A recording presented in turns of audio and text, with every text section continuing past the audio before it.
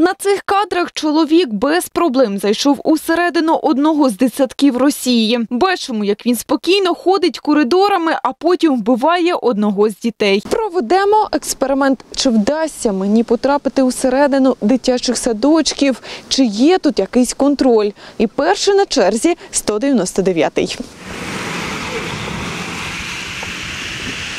Усі двері до груп зачинені, окрім одних, які якраз вулиці. Тому всередину зайти легко. Єдине, але одразу зустрічає вихователь і закидає питаннями, хто до кого і чому. Хоча завідувач садка заперечує, буцімто ці відчинені двері просто випадковість. Зараз вже зачинили.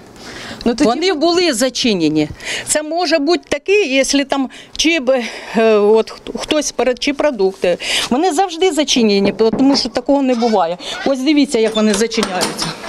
Ви поняли? Тобто у нас кожна група має свій вихід. Інший садок 295-й. Двері до груп зачинені. Стукає до першої, яка потрапила на очі. Відчиняє вихователь. У мене легенда, буцімто я тітка однієї з дитини і хочу забрати її додому. І це виявилось реально можливим. Але якщо мама дитини зателефонує особисто вихователю, але й тут можна постати у ролі буцімто справжньої мами.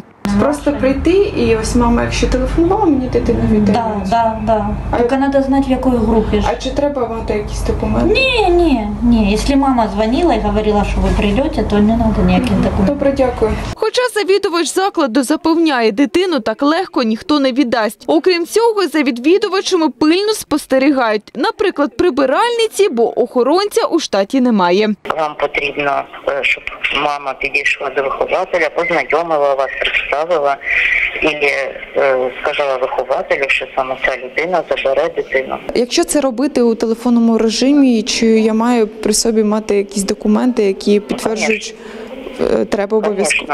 І третя точка 60-й садок. Тут двері до груп зачинені, і дитину забрати вже важче. Воно може підтвердити хтось. Е, Тобто їй треба зателефонувати да, і вихователю, вихователю, да, да, щоб вона обов'язково сказала.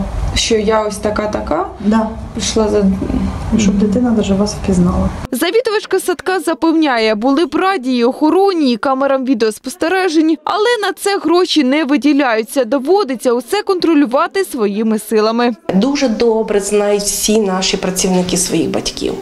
От. А так, що приходить хтось сторонній, представлявся, то ну, на моїй пам'яті поки що такого, слава Богу, не було.